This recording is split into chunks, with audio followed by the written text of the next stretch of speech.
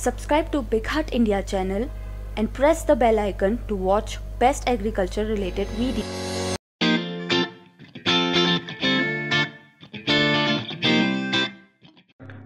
नमस्ते मैं मौसमी आप सभी को फिर से स्वागत करती हूँ आज के फार्म बिट्स में और आज हमारा टॉपिक है दलहनी फ़सल में पॉट बोरर्स का नियंत्रण दलहनी फ़सलों में लाल चना काला चना हरा चना मटर चिक्की मटर सोयाबीन जैसे फ़सल गिने जाते हैं इन फ़सलों में पॉट बोरर जिसे कि हम फली का बोरर बोलते हैं वो सबसे खतरनाक और विनाशकारी कीट में से एक माना गया है इन कीट में लार्वल स्टेज और कैटरपिलर स्टेज जो होता है वो फलियों को फूलों को, फूलों की कड़ियों को, इन सबको खा के नष्ट कर देता है, जिसके द्वारा इसका जो ईल्ड होता है, वो कम हो जाता है।